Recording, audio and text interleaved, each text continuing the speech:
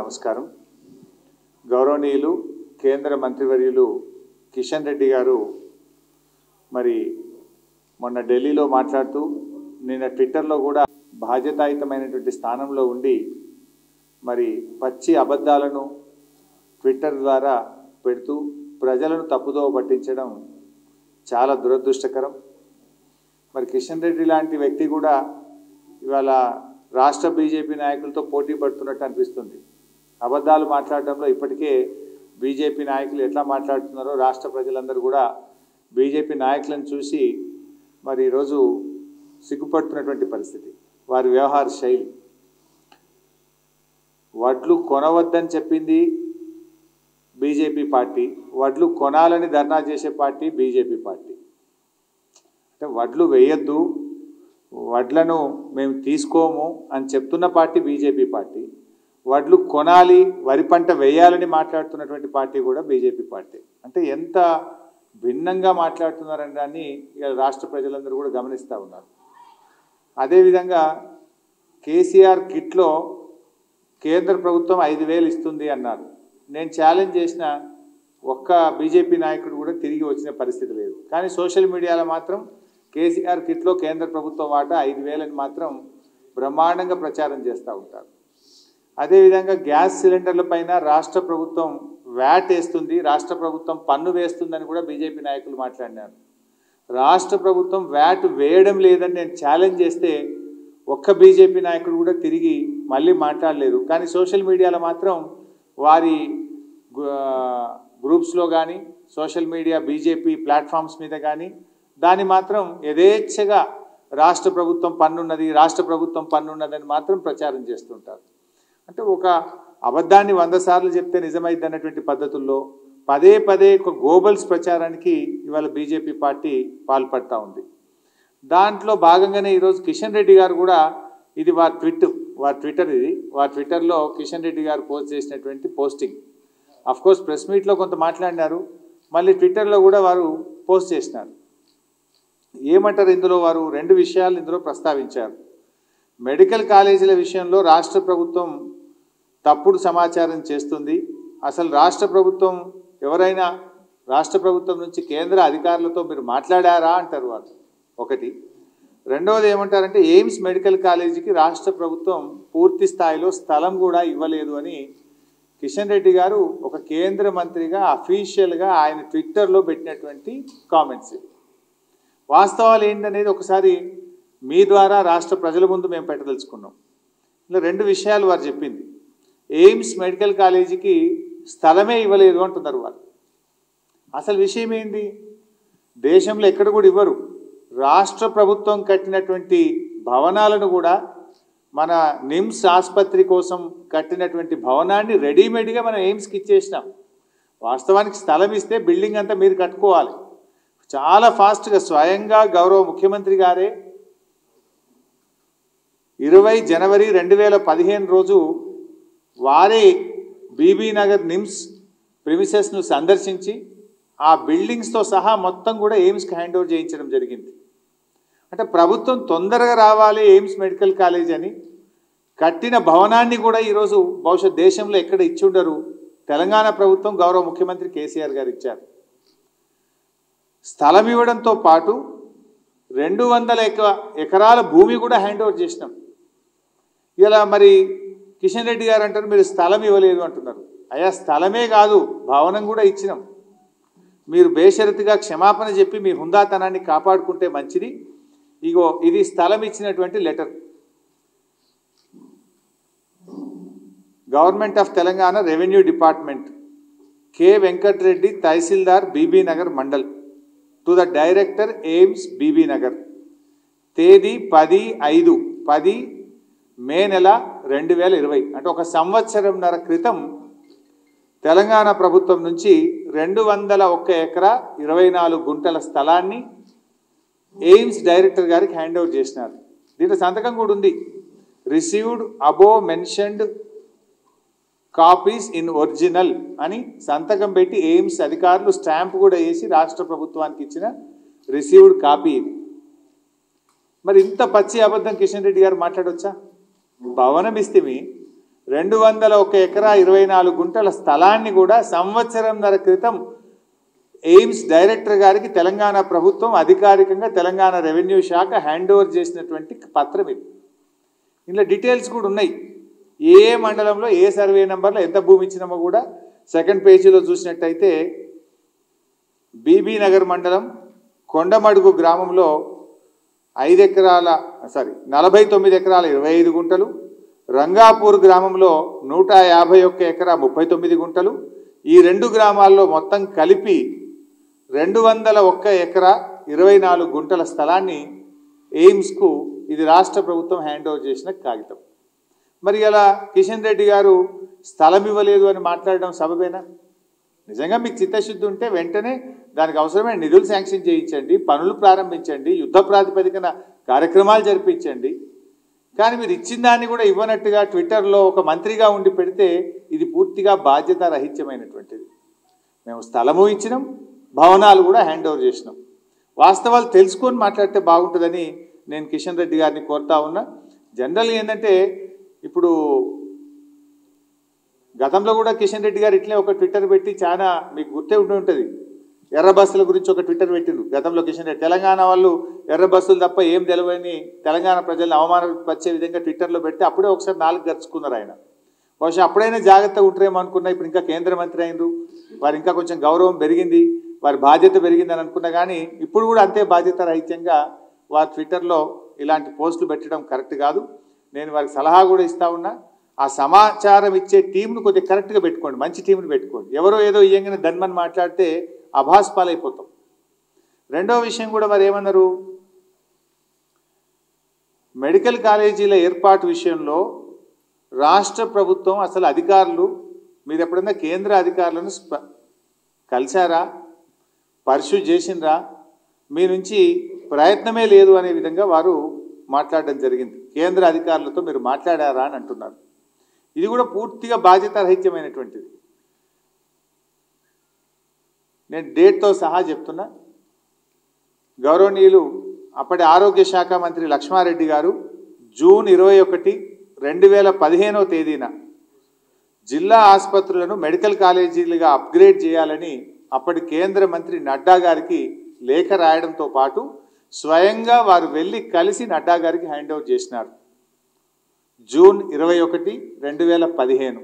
Doctor Lakshma Reddy గారు అప్పటి ఆరోగ్య శాఖ మంత్రి గారు స్వయంగా నడ్డా గారికి కలిసి లేఖ ఇవ్వడం జరిగింది. ఆ రోజు మన రాష్ట్ర ఎంపీలు దాదాపు ఒక అర డజన్ మంది లక్ష్మారెడ్డి గారితో పాటు నడ్డా గారి దగ్గరికి వెళ్ళడం జరిగింది.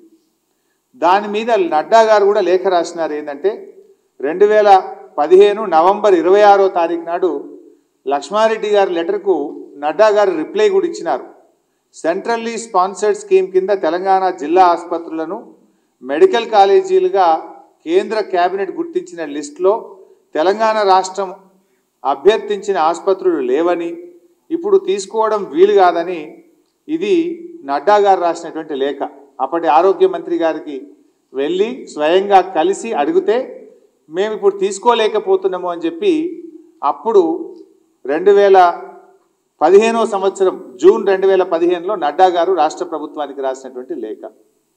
తదనంతరం కూడా మళ్ళీ సెకండ్ ఫేజ్లో ఇంకా కొన్ని కాలేజీలు తీసుకుంటున్నారని తెలిస్తే మళ్ళీ ఒకసారి రాష్ట్ర ప్రభుత్వం నుంచి ఆగస్ట్ ఎనిమిది రెండు వేల పంతొమ్మిదో తేదీన ఆగస్ట్ ఎనిమిది రెండు వేల పంతొమ్మిదో తేదీన రాష్ట్ర ప్రభుత్వం నుంచి హర్షవర్ధన్ గారు అప్పటి ఆరోగ్య మంత్రి హర్షవర్ధన్ గారికి కూడా లేఖ రాయడం జరిగింది.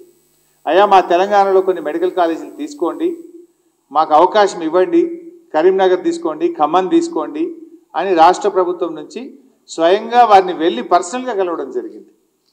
కానీ దాని మీద కూడా వారు రిప్లై ఇచ్చారు. హర్షవర్ధన్ గారు రాసిన లెటర్ కూడా ఉంది నేను అది కూడా చూపిస్తా. ఫేజ్ వన్ ఫేజ్ టూలో తెలంగాణను కవర్ చేయలేకపోయినాం. ఫేజ్ త్రీలో మీ విన్నపాన్ని పరిశీలిస్తామని చెప్పి హర్షవర్ధన్ గారు ఇగో తెలంగాణ ప్రభుత్వానికి వారు రాసినటువంటి లేఖ. ఇది హర్షవర్ధన్ గారు రాసిన ఫేజ్ వన్ ఫేజ్ టూలో మేము తెలంగాణకి ఇవ్వలేదు. ఫేజ్ త్రీలో పరిశీలిస్తామని చెప్పి రాసినటువంటి లేఖ. పరిస్థితి ఏంది? ఫేజ్ త్రీ కూడా అయిపోయింది. ఫేజ్ వన్ అయింది ఫేజ్ టూ అయింది ఫేజ్ త్రీ అయింది. కానీ తెలంగాణకు మాత్రం ఒక్క మెడికల్ కాలేజీ కూడా కేంద్ర ప్రభుత్వం నుంచి మంజూరు చేయలేదు. దేశంలో ఒక వంద యాభై ఏడు మెడికల్ కాలేజీలు ఇచ్చింది కేంద్ర ప్రభుత్వం. ఈ ఒక వంద యాభై ఏడు మెడికల్ కాలేజీల్లో ఉత్తరప్రదేశ్ రాష్ట్రానికి ఇరవై ఆరు ఇచ్చినారు. రాజస్థాన్కి ఇరవై మూడు ఇచ్చినారు. మధ్యప్రదేశ్కు పన్నెండు ఇచ్చినారు. బెంగాల్కు పన్నెండు ఇచ్చినారు. తమిళనాడులో పదకొండు ఇచ్చినారు. కానీ తెలంగాణకు మాత్రం మొండి చేయి చూపింది ఇప్పుడు చెప్పండి కిషన్ రెడ్డి గారు. నిజంగా మీకు రాష్ట్రం మీద ప్రేమ ఉంటే మాట్లాడి తీసుకురండి. ఓ పది మెడికల్ కాలేజీ తెలంగాణకు తీసుకురండి. తప్పకుండా మీకు ధన్యవాదాలు తెలుపుతాం. ఎందుకు ఇవాళ నూట యాభై ఏడు మెడికల్ కాలేజీలు ఇస్తే తెలంగాణ రాష్ట్రానికి ఒక్క మెడికల్ కాలేజీ రాకపోవడం ఈ రాష్ట్రం మీద మీకు ప్రేమ ఉన్నట్ట? కేంద్ర ప్రభుత్వం ఈ తెలంగాణను ఇవాళ సవత్తల్లి ప్రేమ చూపించినట్టు కాదా? ఇది రాష్ట్ర ప్రజల్ని చిన్న చూపు చూడడం కాదా? ఇది రాష్ట్ర ప్రజల్ని అవమానపరచడం కాదా? ఈ రాష్ట్రానికి అన్యాయం చేయడం కాదా? దీనికి మీరు ఇచ్చే సమాధానం ఏంటి ఇంత పచ్చి అబద్ధాలు మీరు మాట్లాడొచ్చా? రాష్ట్ర ప్రభుత్వం మీరు అసలు కలిసిండ్రా? కేంద్రంతో మాట్లాడినరా ఇవి లేఖలేంటి? మా స్వయంగా మా మంత్రులు వెళ్ళి ఢిల్లీలో కలిస్తే మీ మంత్రులు రాసిన రిప్లైలు కూడా చూపిస్తున్నా కదా నేను. మీరు ఎయిమ్స్కి ల్యాండ్ ఇవ్వలేదంటారు ల్యాండ్ ఇచ్చింది ఇంత స్పష్టంగా ఏ డేట్ ఇచ్చిండ్రు? ఏ తారీఖు ఇచ్చిండ్రు? ఎంత ల్యాండ్ ఇచ్చిందో కూడా మేము చెప్తా ఉన్నాం. అంటే ఒక అబద్ధాలను ప్రచారం చేస్తూ రాజకీయం చేస్తాము రా రాష్ట్రం మీద మేము బురద జల్లుతామనేటువంటి పద్ధతి మంచిది కాదని చెప్పి నేను వారికి మనవి చేస్తా ఉన్నాను నిజంగా కిషన్ రెడ్డి గారు మీరు ఇవాళ ఒక క్యాబినెట్ మంత్రిగా ఉన్నారు. సంతోషం. మా రాష్ట్రం నుంచి మీరు ఇవాళ క్యాబినెట్ మంత్రిగా ఉన్నారు. తీసుకురండి నిజంగా ఈ రాష్ట్ర ప్రజల మీద ప్రేమ ఉంటే మేము కొత్తగా ఏం అడుగుతలేము. రాష్ట్ర విభజన చట్టంలో రాష్ట్రానికి కొన్ని హక్కులు ఇచ్చినారు. ఎయిమ్స్ కాలేజ్ కూడా మేము ఇచ్చినామని మాట్లాడుతున్నాం మీరు ఇచ్చింది ఏముంది అది? తెలంగాణ రాష్ట్ర విభజన సమయంలో పార్లమెంట్లో తెలంగాణకు ఎయిమ్స్ కాలేజ్ ఇస్తామని విభజన చట్టంలో పెట్టింది. ఇది రాష్ట్ర ప్రజల హక్కు. విభజన చట్టం ద్వారా హక్కుగా ఈ రాష్ట్రానికి సంక్రమించినటువంటిది ఎయిమ్స్ మెడికల్ కాలేజ్. దాన్ని త్వరితగతిన పూర్తి చేయించండి. మేము ల్యాండ్ ఇచ్చిన పనులు జరిపించండి. చేయాల్సింది చేయకుండా బురద జల్లే కార్యక్రమం చేసి తప్పించుకుంటామంటే ఈ రాష్ట్ర ప్రజలు ఊరుకోరు ఎంత అమాయకులు కారు. డెఫినెట్గా మేము ప్రశ్నిస్తూనే ఉంటాం మిమ్మల్ని. ఇవాళ మీరు ఈ రాష్ట్రం నుంచి కేంద్ర మంత్రిగా ఉన్నారు. అదే రాష్ట్ర విభజన చట్టంలో బయ్యారం ఉక్కు ఫ్యాక్టరీ పెడతాము. మహబూబాద్ ప్రాంతంలో నిరుద్యోగ యువతకు మా గిరిజన యువతకు ఉద్యోగ అవకాశాలు వస్తాయని చెప్పిండ్రు.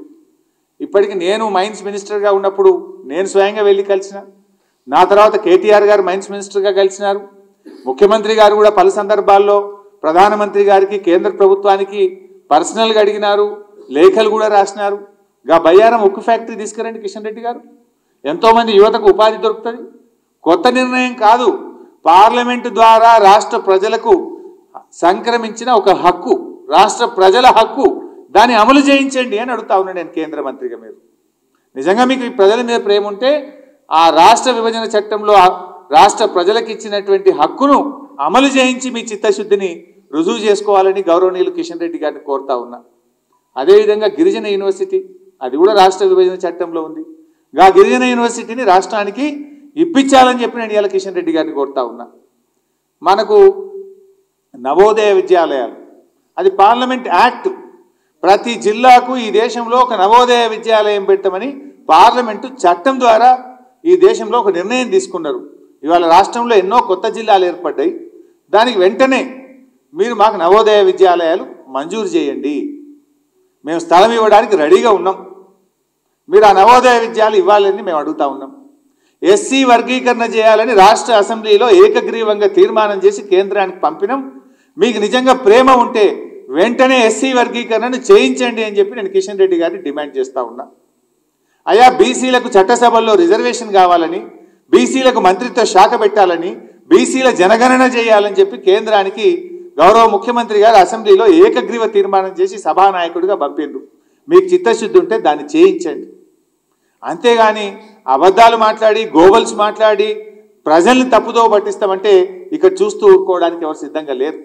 ఇవన్నీ రాజ్యాంగంలో రాష్ట్రానికి ఉన్న హక్కులు ఇవి. నవోదయ విద్యాలయం కానీ గిరిజన యూనివర్సిటీ కానీ బయ్యారం ఉక్కు ఫ్యాక్టరీ కానీ ఈ పార్లమెంట్ ద్వారా రాష్ట్ర ప్రజలకు వచ్చిన హక్కు. ఇది ఇవ్వండి మీరు మాకు. చేయాల్సింది చేయకుండా బురద జల్లే కార్యక్రమం ఏందండి? అంటే ఎన్ని అబద్ధాలు? వడ్లు వేయనే వేయొద్దు మేము కొనలేము అని కేంద్రమే ఒత్తిడి చేస్తుంది. వేయాలని మీరే మాట్లాడతారు. కేసీఆర్ కిట్లో ఐదు వేలని మాట్లాడతారు. రూపాయి లేదనలా. గ్యాస్ సిలిండర్లో రాష్ట్ర ప్రభుత్వం వ్యాట్ ఉందన్నారు. రూపాయి లేదని ఛాలెంజ్ చేస్తే ముఖం చాటేస్తారు. ఇప్పుడు వడ్లు పక్కకు పెట్టిండ్రు వేరే ముచ్చట ముంగడికి తీసుకొచ్చే ప్రయత్నం చేస్తారు. ఇంకా ఇవాళ ధర్నాలు. ఏం ధర్నాలు అసలు? దేనికోసం ధర్నాలు మీరు? ఇవాళ దేనికోసం ధర్నాలు చేసింది మీరు? వడ్లు కొనాలి. కొంటలేదా? ఏ జిల్లాకు పోదాం? ఏ మండలం పోదాం? డెఫినెట్గా ప్రాసెస్ ఆన్ రాష్ట్ర ప్రభుత్వం వడ్లు కొంటున్నది. కానీ మీరు రేపు మీరు ఎక్కడ ఎండగొట్టబడతారో రేపు ఎక్కడ ప్రజల ముందు మిమ్మల్ని నిలబెడతారో అని ముందే ఏదైనా కొంత ప్రియం చేద్దామని ఒక ప్రయత్నం చేశారు. కానీ దానికి జనం స్పందన లేదు రైతుల స్పందన లేదు. రైతులు ఎవరు రాలే. మీరు అనుకున్న దాంట్లో అసలు ఏమాత్రం స్పందన కూడా రాలే. ఎక్కడనో అడపా దడపా కొద్ది చోట మీ కార్యకర్తలు చేసిందే తప్ప రైతుల నుంచి మీకు మద్దతు లేదు. రైతులకు అర్థమైపోయింది. ఇవాళ తెలంగాణ రైతాంగానికి ఒక విషయం స్పష్టమైంది. ఏంటిది? ఇవాళ వడ్లు కొననంటున్నది కేంద్ర ప్రభుత్వం. వడ్లు కొనమని చేతులు ఎత్తేసింది కేంద్ర ప్రభుత్వం. ఇవాళ ఇదే కిషన్ రెడ్డి గారు కూడా మాట్లాడుతుండ్రు. ఆ మేము రా రైస్ కొంటాం. యాసంగి పంటల పండేదే బాయిల్ రైసు. తెలంగాణలో ఇలా కొత్తగా పండుతుందా? తెలంగాణలో యాసంగి పంటల పండే పండ్లే వడ్లే రా మన బాయిల్ రైస్. రా రైస్ రాదు. ఎందుకు రాదు? Because of temperature. తెలంగాణలో ఉండే ఉష్ణోగ్రత పరిస్థితుల దృష్ట్యా మరి వచ్చేటువంటి బియ్యం నూకలైతే రా రైస్ చేస్తే యాభై శాతం నూకలైతే కనుక బాయిల్ రైసే చేస్తారు. ఇదే కొత్తగా కొంటున్నది కాదు కొత్తగా పుట్టింది కాదు. ఇది మొదటి నుంచి స్వాతంత్రం వచ్చినప్పటి నుంచి ఇప్పటిదాకా ఉన్న పద్ధతి. సో అందువల్ల ఈ తప్పుదో పట్టించే కార్యక్రమాలు మానుకొని ఇప్పటికైనా మీకు రాష్ట్రం మీద రాష్ట్ర ప్రజల మీద ప్రేమ ఉంటే రాష్ట్రానికి వచ్చేటువంటి హక్కులను మీరు వెంటనే అవి అమలు చేయించండి అని చెప్పి నేను డిమాండ్ చేస్తూ ఉన్నా. ఇంకో చిన్న విషయం కిషన్ రెడ్డి గారికి నేను అడుగుతా ఉన్నా. NCDC national centre for disease control అనేది హైదరాబాద్లో పెట్టాలని కేంద్రం నిర్ణయం తీసుకున్నది.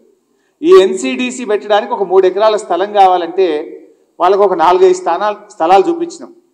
అందులో వాళ్ళు ఎక్కడ సెలెక్ట్ చేసుకున్నారు ఎన్సిడిసి వాళ్ళు?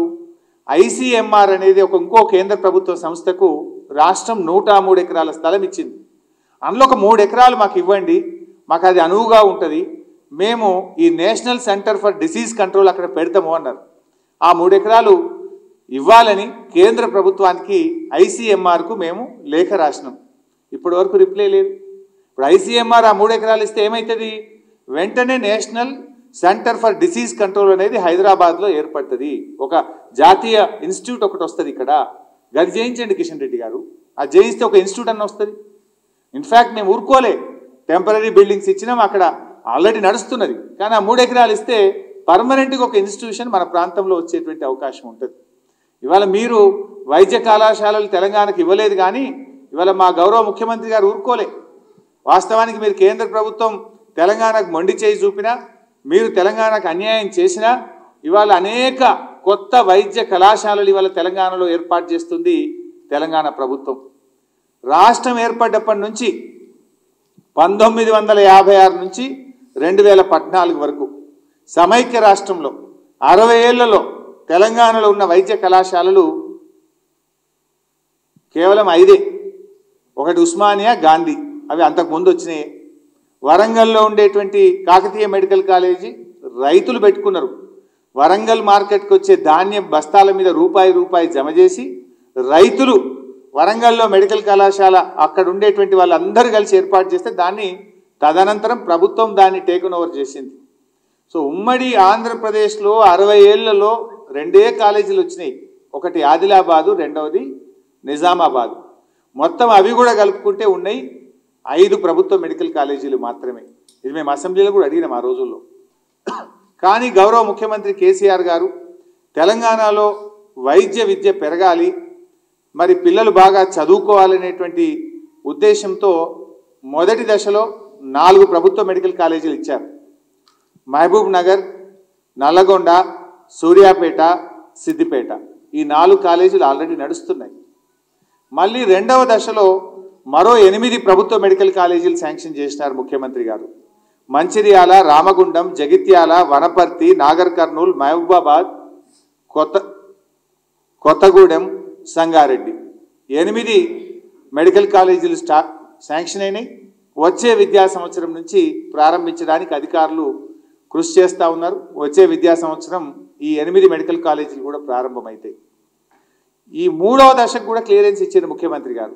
మరో నాలుగు మెడికల్ కాలేజీలు మూడవ దశలో కూడా సిరిసిల్ల కామారెడ్డి భూపాలపల్లి వికారాబాద్లో కూడా పెట్టబోతా ఉన్నాం. దానికి కూడా ఇవాళ ప్రభుత్వం క్లియరెన్స్ ఇచ్చింది. అంటే అరవై ఏళ్ళలో ఉమ్మడి రాష్ట్రంలో తెలంగాణ ప్రాంతంలో ఐదు ప్రభుత్వ మెడికల్ కాలేజీలు ఉంటే ఈరోజు ఇరవై ఒక్క ప్రభుత్వ మెడికల్ కాలేజీలకు ఇవాళ తెలంగాణ మారింది. అంటే ఎక్కడి నుంచి ఎక్కడికి పోయింది? ఐదు నుంచి ఇరవై ఒక్క ప్రభుత్వ మెడికల్ కాలేజీలకు వెళ్ళిపోయింది ఇవాళ తెలంగాణ. అదే మీ కేంద్ర ప్రభుత్వం ఏమో నూట యాభై ఏడు మెడికల్ కాలేజీలు ఇస్తే తెలంగాణకు ఒక్కటి ఇయ్యలే మొండి చేయి చూపించింది మీరు. అయినా ముఖ్యమంత్రి గారు ఊరుకోలే ఈ రాష్ట్రం వెనుకబడద్దు ఈ రాష్ట్రంలో విద్యార్థులు చదువుకోవాలి ముందుకు పోవాలి అనేటువంటి ఉద్దేశంతో ఐదు మెడికల్ కాలేజీలు ఉన్న రాష్ట్రాన్ని ఇరవై ఒక్క మెడికల్ కాలేజీలకు తీసుకుపోయిన ఘనత టీఆర్ఎస్ ప్రభుత్వాన్ని ముఖ్యమంత్రి కేసీఆర్ గారు ఆ రోజు మెడికల్ కాలేజీల సీట్ల సంఖ్య రాష్ట్రంలో ఏడు వందలు ఉండే. ఇవాళ నాలుగు వేల సీట్లకు తీసుకుపోయినాం. రాష్ట్రం ఏర్పడ్డ నాడు రెండు వేల పద్నాలుగులో ఈ రాష్ట్రంలో ఉండే మెడికల్ కాలేజీ సీట్ల సంఖ్య ఏడు వందలు అయితే today it is four thousand. అంటే ఎన్ని రెట్లు ఎక్కువ తీసుకుపోయింది ఆలోచించండి. అదేవిధంగా పీజీ సీట్లు ఐదు వందల ముప్పై ఒక్క పీజీ సీట్లు ఉంటే దాదాపు రెట్టింపై ఇలా దాదాపు వెయ్యి పీజీ సీట్లు ఇలా ఈ రాష్ట్రంలో ఉన్నాయి. ఎంబీబీఎస్ సీట్లు పెంచినాం పీజీ సీట్లు పెంచినాం మెడికల్ కాలేజీలు పెంచినాం నర్సింగ్ కాలేజీలు పెంచినాం. అంటే వైద్య విద్య మీద ఇలా ప్రభుత్వం ముఖ్యమంత్రి గారు ఇంత కృషి చేస్తున్నారు. మీదేంటంటే నూట యాభై ఏడు కాలేజీలు దేశమంతా ఇస్తే తెలంగాణ రాష్ట్రానికి ఒక్కటి కూడా ఇయ్యని చరిత్ర బీజేపీ పార్టీది. పైగా మళ్ళీ బురద జల్లే కార్యక్రమం.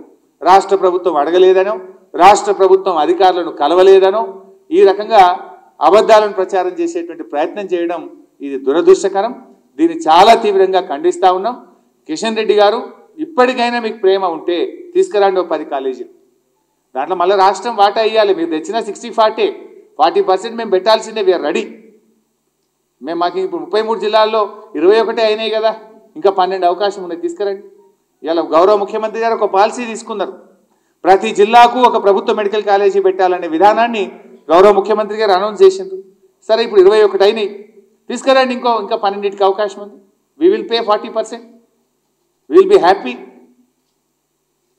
అదేదో మీ చిత్తశుద్ధి చూపండి.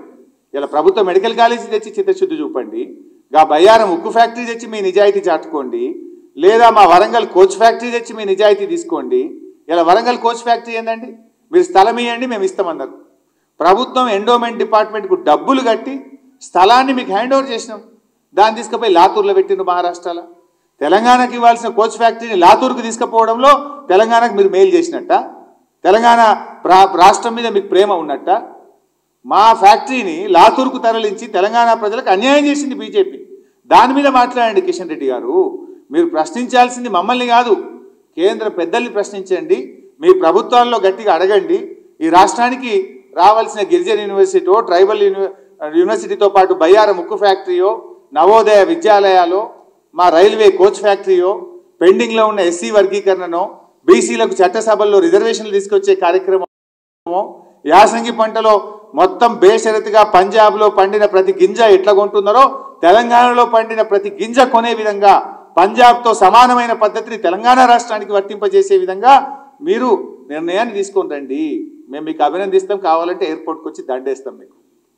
మేమేం గొంతమ్మ కోరికలు కోరతలేం. పంజాబ్లో పండిన గింజ కొంటరెట్లా తెలంగాణలో పండిన ప్రతి గింజ కొనరెట్లా అని అడుగుతున్నాం మేము. దేశంలో ఒక రాష్ట్రానికి ఓ న్యాయం ఇంకో రాష్ట్రానికి ఇంకో న్యాయం ఉంటుందా? పంజాబ్కో నీతి తెలంగాణకో నీతి ఉండొచ్చా? పంజాబ్లో ప్రతి గింజ ఎట్లా కొంటారు? తెలంగాణలో ఎందుకు కొనరు? పంజాబ్లో ప్రతి గింజ కొన్నప్పుడు తెలంగాణలో కొనండి. మీరు తీసుకోండి. యాసంగి పంటలో పండేదే బాయిల్డ్ రైస్. యాసంగి పంటలో బాయిల్ రైసే పండుతుంది.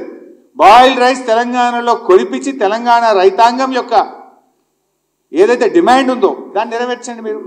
అది చేయకుండా మీరు గొంతు పెంచడమో బురద జల్లేటువంటి కార్యక్రమాన్ని మానుకోవాలని చెప్పి మేము కోరుతా ఉన్నాం. ఇలా ప్రజలకు అర్థమైపోయింది. అందుకే ఇవాళ మీ యొక్క ధర్నాల్లో జనం లేరు రైతులు లేరు కేవలం కార్యకర్తలు మాత్రమే ఉన్నారంటేనే ఇవాళ ప్రజలకు మీదేందో అర్థమైపోయింది. రైతులను మీరు మోసం చేస్తున్నారు రైతుల విషయంలో మీకు చిత్తశుద్ధి లేదు అనే విషయం ఇవాళ రాష్ట్ర రైతాంగానికి అర్థమైపోయింది. ముఖ్యమంత్రి గారు మాట్లాడితే తెల్లారి మాట మార్చింది మీరే కదా. వడ్లు తప్ప అన్నీ మాట్లాడిండ్రు. వడ్ల గురించి ఎందుకో మాట్లాడలేదు. ఎందుకో మరి ముఖం చాటేసి వెనుకకు తిరిగిండ్రు. అది చెప్పండి స్పష్టంగా. యు ఇప్పటికి మాకు టైం ఉంది. ఇప్పటికి కూడా ఇవాళ తెలంగాణ ప్రభుత్వం రెడీగా ఉన్నది. మీరు ఒకవేళ పర్మిషన్ తీసుకురండి కొంటామని. ఎస్ వీఆర్ రెడీ వరి పండించడానికి ఎవరో అంటున్నారు సో ఏది ఏమైనా ఫైనల్గా నేను కిషన్ రెడ్డి గారికి చేసే అప్పీల్ ఒకటే. మీరు ఏ సమాచారం కావాలన్నా నేనే స్వయంగా వస్తా కిషన్ రెడ్డి గారు. ఇలా గౌరవ ముఖ్యమంత్రి గారు వైద్య ఆరోగ్య శాఖకు నాకు అవకాశం కల్పించింది. మరి మీరు ఎయిమ్స్ విషయంలో ల్యాండ్ ఇచ్చినా ఇయ్యలేదని మాట్లాడింది. మెడికల్ కాలేజీల విషయంలో గౌరవ మంత్రివర్యులు అప్పటి మంత్రులు ప్రభుత్వం కేంద్రాన్ని పరిశూ చేసినా మీరు చేయలేదని మాట్లాడింది. బట్ అయినా మాకేం బేసిజాలు లేవు. If you are going to support us ఏం కాయిదాలు కావాలో చెప్పండి ఎప్పుడు రమ్మంటారో చెప్పండి నేను రావడానికి రెడీగా ఉన్నా. మాకు కావాలి మా రాష్ట్రానికి ప్రయోజనం. మాకు కావాలి మా రాష్ట్రానికి మెడికల్ కాలేజీలు. మీరు ఇస్తారా చెప్పండి నేను I'm ready I will come personal. నేనే వస్తా మీ దగ్గరికి ఢిల్లీకి. ఎప్పుడు రమ్మంటారో చెప్పండి. ఏం కాయిదాలు కావాలో చెప్పండి. తీసుకొని వస్తా. కానీ అది కాకుండా మేము చేసిన ప్రయత్నాన్ని కూడా చెయ్యలేదు అనే విధంగా మాట్లాడడం ఇది మీకు తగదు. ఒక ఆ పోస్టుకు మీరున్నటువంటి ఒక క్యాబినెట్ మంత్రిగా ఆ పోస్టుకు తగని విధంగా మీరు మాట్లాడొద్దని చెప్పి కూడా నేను వారికి మనవి చేస్తూ ధన్యవాదాలు.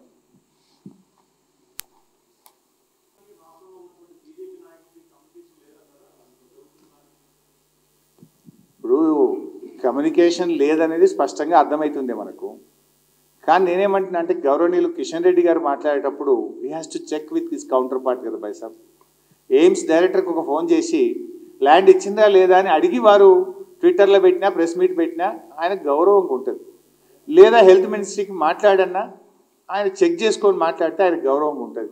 వారు ఒక బాధ్యతాయుతమైన పోస్ట్లో ఉన్నారు స్టాఫ్ ఉంటారు ఆఫీస్ ఉంటుంది చెకప్ చేసుకొని మాట్లాడాలి కదా. ఇప్పుడు నేను మాట్లాడితే నడ్డా గారు రాసిన లెటర్ చూపించిన నేను. ఆ తర్వాత ఉన్న మంత్రి గారు హర్షవర్ధన్ గారు లెటర్ చూపించిన నేను. రాష్ట్రం పరిశూ చేసింది. నేను మాట్లాడిన ఇవాళ నేను ఒక బాధ్యతాయుతమైన పోస్ట్లో ఉన్నా. మా కలెక్టర్కు మాట్లాడి ల్యాండ్ హ్యాండ్ ఓవర్ చేసిన పేపర్ తీసుకొచ్చి ఇలా మీ ముందు పెట్టి మాట్లాడుతున్నాం. When we are in a constitutional post ఒక బాధ్యతాయుతమైన బా పోస్ట్లో ఉన్నప్పుడు రెస్పాన్సిబుల్గా మాట్లాడాలి కదా మనం. దీన్ని బట్టి ఏమర్థమవుతుంది వాళ్ళు? ఒకటేమో కేంద్రానికి రాష్ట్రానికి మధ్య సమన్వయం లేదనేది ఎట్లా అర్థమైందంటే వడ్లు కొనొద్దనేమో కేంద్ర మంత్రి గారు పీయూష్ గోయల్ గారు మన మీద ఒత్తిడి పెడతారు. పోయిన యాసంగిలో వడ్లు కొనండి మహాప్రభు అంటే మీరు సంతకం పెడితేనే కొంటాం సంతకం పెడితేనే కొంటాం మీరు మలదాప పండియ వెంటనే కొంటామని మెడ మీద కత్తి పెట్టి సంతకాలు పెట్టించుకుంటారు. వాళ్ళేమో ఉత్తరం మీద ఉత్తరం రాస్తారు. ఒకవైపు గడ్కరీ గారు మాట్లాడుతుంటారు ఒకవైపు పీయూష్ గోయల్ గారు మాట్లాడుతుంటారు. ఇక్కడ రాష్ట్ర బీజేపీ నాయకులేమో వాళ్ళు కొనాల్సిందే అని వీళ్ళు మాట్లాడతారు. అంటే కేంద్ర బీజేపీకి రాష్ట్ర బీజేపీ మధ్య సమన్వయం లేదని అనుకోవాలి కదా. సమన్వయం ఉంటే వాళ్ళదో మాట వీళ్ళదో మాట ఉంటుందా ఢిల్లీలో ఉన్న చంద్రబాబు దగ్గర కేంద్ర ప్రభుత్వంపై ఒత్తిడి తెచ్చేందుకు ధర్నా ఏమైనా ఉంచారా? ఖచ్చితంగా ఉంటుంది రాములు గారు. ధర్నాలు అనేటువంటి రేపటితో ప్రారంభమనే కదా ముఖ్యమంత్రి గారు మన చెప్పింది. రేపటితో ప్రారంభం డెఫినెట్గా అన్నిటి మీద చేస్తాం. మా ఇలా రాష్ట్రం యొక్క ప్రతి హక్కును కాపాడడం కోసం ఇలా వడ్ల మీద పోరాటం చేస్తాం కొనాలని చెప్పి. చివరిదాకా ప్రయత్నం చేస్తూనే ఉంటాం. రాష్ట్రంలోని రైతుల హక్కులు కాపాడడానికి రాష్ట్రంలో రైతుల ప్రయోజనాలు కాపాడడానికి రేపటిది ఒక ప్రారంభం మాత్రమే. రేపు పార్లమెంట్ సమావేశాలు స్టార్ట్ అయితే డెఫినెట్గా మా ఎంపీలు పోరాడతారు. ఇంకా రకరకాల రూపాల్లో కేంద్ర ప్రభుత్వం మీద ఒత్తిడి పెంచుతూనే ఉంటాం మేము. ఇవాళ వాళ్ళు అన్నీ బయటపడుతున్నాయి కదనే. కేసీఆర్కి ఇట్లా ఐదు వేలు ఉన్నాయన్నారు ఉన్నాయా చూపించాలి కదండి మరి ఇప్పుడు? గ్యాస్ సిలిండర్ మీద రాష్ట్ర ప్రభుత్వం వ్యాట్ ఉందన్నారు. ఉన్నదా చూపించాలి కదండి మరి ఇప్పుడు? ఎయిమ్స్లో మీరు ఇవ్వలేదు అన్నారు. ఉన్నదా చూపించాలి కదా? ల్యాండ్ ఇచ్చినామని చెప్పినాం కదా ఇప్పుడు నేను. ఇట్లా మాట్లాడితే ఎట్లయితుంది? ఎన్ని కాలేజీలు ఇచ్చిండ్రు? దేశంలో ఎక్కడెక్కడ ఇచ్చిండ్రో కూడా లెక్కలు చెప్పిన. తెలంగాణకు ఒక్కటి ఇవ్వలేదని చెప్పిన. నేను చెప్పిన తప్పైతే చెప్పాలి కదా. అంటే ఇది ఏంటంటే ఒక బటగాల్చి మీదేసేటువంటి కార్యక్రమం ఒక గోబల్స్ని ప్రచారం చేసే కార్యక్రమానికి ఇలా బీజేపీ నాయకులు పాల్పడుతున్నారు. సరే రాష్ట్రంలో ఉండే నాయకులు పాల్పడుతున్నారంటే కేంద్రంలో ప్రభుత్వంలో ఉన్న వాళ్ళు కూడా అదే రకంగా మాట్లాడడం అనేది మాత్రం ఇది సరే అల్టిమేట్గా ఏమవుతుంది ప్రజలకు వాళ్ళు పలచన అవుతారు కదా. రేపు వాళ్ళు ఏదైనా మాట్లాడినా ప్రజలు నమ్మకుండా అవుతారు. వాళ్ళు ఎప్పుడో నిజం మాట్లాడినా అబద్ధమే కావచ్చు అనుకునే పరిస్థితిలోకి వాళ్ళు నెట్టబడుతున్నారు. వాళ్ళే నెట్టబడుతున్నారు. వాస్తవాలు మాట్లాడాలి కదా. వాస్తవాలు చెప్తే ప్రజల్లో మీ మీద కాన్ఫిడెన్స్ పెరుగుతుంది. నాయకులము పార్టీలు అనే వాళ్ళము మనం ప్రజల యొక్క మన్నల్ని పొందాలి ప్రజల్లో విశ్వసనీయత పెంచుకోవాలి ప్రజాస్వామ్యంలో. కానీ ప్రజాస్వామ్యం యొక్క విలువలు తగ్గే విధంగా విశ్వసనీయత కోల్పోయే విధంగా మాత్రం రాజకీయ పార్టీలు ఉండొద్దు నాయకులు ఉండొద్దు అనేది నా మనవి. థ్యాంక్ యూ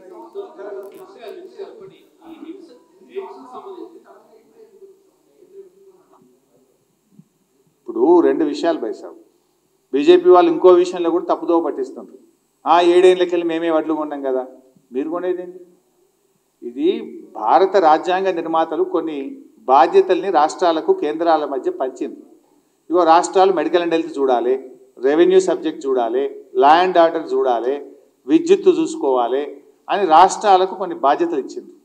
కేంద్రానికి కూడా కొన్ని బాధ్యతలు ఇచ్చిండ్రు. ఆహార భద్రత. దేశం యొక్క ఆహార భద్రత దృష్ట్యా దేశంలో ఏదైతే మనము ఈ ఫెయిర్ ప్రైస్ షాపుల ద్వారా ఏ రాష్ట్రంలో ఏ సరుకు అయితే ఇస్తారో అది పూర్తి స్థాయిలో కొనే విధంగా ఒక నిర్ణయం తెచ్చింది. ఆ ఆహార భద్రత కోసం దేశంలో ఎక్కడ ఏ ప్రాంతంలో కరువు వచ్చినా దేశంలో పండే పంటలు కొనాలి దాన్ని స్టోర్ చేయాలని సైంటిఫిక్ గోడౌన్లు కట్టడము దానికి ఎఫ్సిఐ అనే ఒక సంస్థ వచ్చింది. ఇవాళ కొత్త కొంటున్నారే దేశానికి స్వాతంత్రం వచ్చినప్పటి నుంచి ఎవరు ప్రభుత్వంలో ఉన్నా? కాంగ్రెస్ ఉన్నా మధ్యలో జనతాదళ్ ఉన్నా బీజేపీ ఉన్నా ఎన్డీఏ ఉన్నా ఇంకే కేంద్ర ప్రభుత్వం ఉన్నా అందరూ కూడా కొంటూనే వచ్చిండ్రు. సడన్గా ఇప్పుడు బంద్ పెట్టింది బీజేపీ. సడన్గా ఇప్పుడు లేఖ రాసి మేము కొనము అని ఇప్పుడు సడన్గా బంద్ పెట్టింది కనుక పంచాయతీ పుట్టింది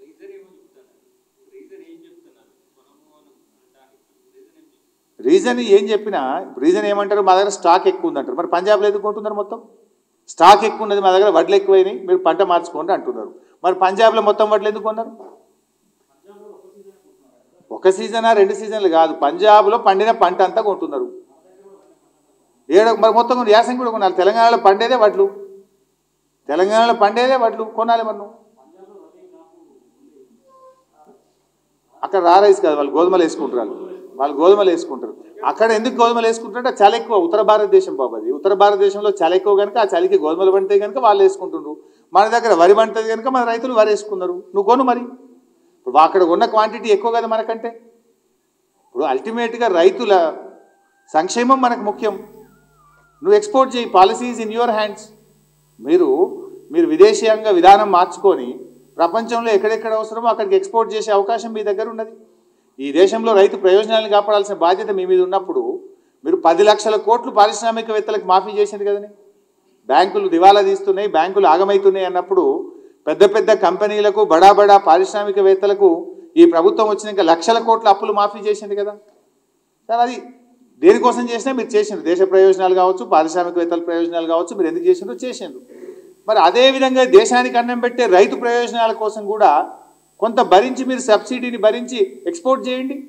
విదేశాలకు పంపండి వడ్లను విదేశాంగ విధానాన్ని మార్చండి. ఎక్స్పోర్ట్ పాలసీని మార్చండి. ఈ ఈ బియ్యాన్ని బయటకు పంపించే ప్రయత్నం చేయండి. ఎందుకు ఆ ప్రయత్నం చేయొద్దు మీరు? పనికి రాకపోతే పనికొచ్చే విధంగా చేయండి. ఏం కావాలో చెప్పండి. ఇది బాగుంది పైసా ఇప్పుడు ఇవన్నీ చెప్తున్నాను మరి వడ్లు వేయాల్సిందే నేను ఎట్లా మాట్లాడిండు అది బాధ్యత రైత్యం కాదా? ఇప్పుడు ఎప్పుడైతే టీఆర్ఎస్ ప్రభుత్వం గట్టిగా మా నాయకుడు కేసీఆర్ లేచి ప్రశ్నించినాక ఇప్పుడు ఇది ఇట్లా అదట్లా అని ఇప్పుడు డిఫెన్స్లో పడి ఇవన్నీ కారణాలు ఎత్తుక్కుంటున్నారు. మరి అదే రోజు మేము ఇలా సహకరించాలని గౌరవ ముఖ్యమంత్రి గారు మేము పంట మార్పిడి వైపు మేము పోతే రైతులు రెచ్చగొట్టింది ఎవరు? వడ్లు వేయాల్సిందే మేము మెడలు వంచుతామని వంకరగా మాట్లాడింది ఎవరు? ఇప్పుడు డిఫెన్స్లో వాడు ఏమవుతుండ్రు ఇవన్నీ డొంక తిరుగుడు సమాధానాలు మళ్ళీ ఇవన్నీ ఎత్తుక్కుంటూ వస్తుంది కదా.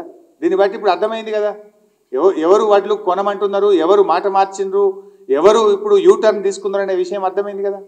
ఫస్ట్ టైం ఇప్పటి వరకు ఈ సమస్య లేదు.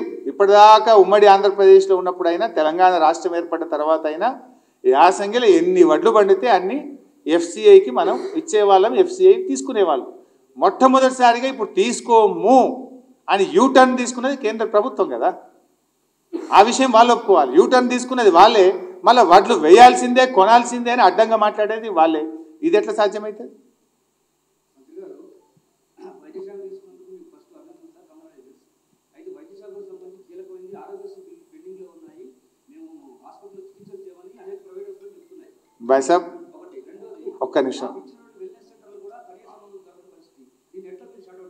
అంటే నా సబ్జెక్టు డైల్యూట్ అవుతుందని నా రిక్వెస్ట్. డెఫినెట్గా నేను అడ్రస్ చేస్తా ఇష్యూను. ఇవాళ ఫస్ట్ రివ్యూ తీసుకున్నా ఇవాళ. నిజంగా మీరు చెప్పింది కూడా కరెక్ట్ కాదు. నిన్న మొగాక మొన్న లాస్ట్ వీకు నూట అరవై నూట డెబ్బై కోట్లు ఆరోగ్యశ్రీ పేమెంట్స్ కూడా చేసిండ్రు. Today it's I have taken the review తప్పకుండా గౌరవ ముఖ్యమంత్రి గారు మా మీద బాధ్యత పెట్టినారు. ముఖ్యమంత్రి గారి ఆశీస్సులతో ఆ ఇష్యూస్ అన్నీ కూడా రిజాల్వ్ చేస్తాను.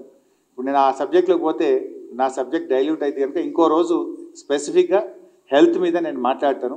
Today my press meet is only on కేంద్ర మంత్రి కిషన్ రెడ్డి గారు. కిషన్ రెడ్డి గారు రాష్ట్రాన్ని రాష్ట్ర ప్రజల్ని తప్పుదో పట్టిస్తూ ఒక బాధ్యతాయుతమైన స్థానంలో ఉండి రాష్ట్ర ప్రభుత్వాన్ని తప్పుపట్టే విధంగా ల్యాండ్ ఇస్తే ల్యాండ్ ఇవ్వలేదని రాష్ట్ర ప్రభుత్వం పర్సూ చేస్తే చేయలేదని వారు మాట్లాడడము ట్విట్టర్లో పెట్టడం అనేది కరెక్ట్ కాదని వాస్తవాలు ఆధారాలతో సహా మీ ద్వారా కిషన్ రెడ్డి గారికి చెప్పిన రాష్ట్ర ప్రజలకు తెలియజెప్పే ప్రయత్నం చేసిన రాష్ట్ర ప్రయోజనాల కోసం కిషన్ రెడ్డి గారు ఎప్పుడు పిలిచినా ఈ రాష్ట్ర వైద్య ఆరోగ్య శాఖ మంత్రిగా నేను ఆయన దగ్గరికి రావడానికి సిద్ధంగా ఉన్నా.